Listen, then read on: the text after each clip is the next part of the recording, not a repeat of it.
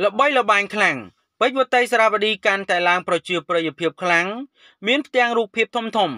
ដាក់បង្ហាញតាមដងផ្លូវនៅក្នុងទីក្រុងបាងកកថែមទៀតផងបងប្អូនជាទីគោរពរាប់អាននៅរឿងដែលស្ទើរតែនឹកស្មានបណ្ដោះ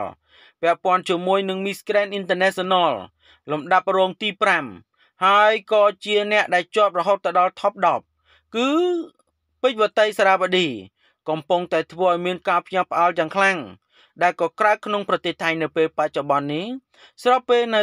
តាមដងផ្លូវគឺស្រាប់តែលេចវត្តមាននាងនៅលើប៉ាណូធំធំ ដែលបង្ហាញសបញ្ជាក់ឲ្យឃើញថាពេជ្រវតីកំពុងតែទទួលបាននូវការគ្រប់គ្រងយ៉ាងខ្លាំងអំពីសំណាក់ប្រជាជនថៃក៏ដូចជាបងប្អូនដែលរស់នៅក្នុងប្រទេសថៃជាដើមជាមួយនឹងវត្តមានរបស់បវរកញ្ញាកម្ពុជារូបនេះដែលលេចវត្តមាននៅក្នុងប្រទេសថៃនៅក្នុងពេលបច្ចុប្បន្ន ករណីនេះផងដែរដូច្នោះកុំឲ្យប្រិយមិត្តរបស់យើងរងចាំយូរសូមមេត្តាជួយ Subscribe និង Like ដើម្បីទទួលបាននូវព័ត៌មានថ្មីថ្មីបន្ថែមទៀតពុកម៉ែបងប្អូនប្រកាសជាបានជ្រាបពាក់ព័ន្ធជាមួយនឹងពេជ្រវតីសារវតីទោះបីជានាងមិនមែនជាតារាសម្ដែង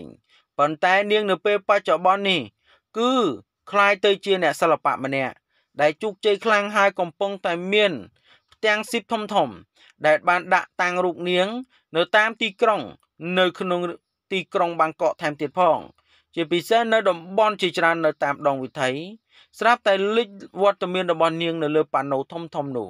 យ៉ាងណាក៏ដោយជាការពិតណាស់ជឿជាក់ថាប្រិយមិត្តបុកម៉ែបងប្អូនប្រកាសជាបានជ្រាបហើយ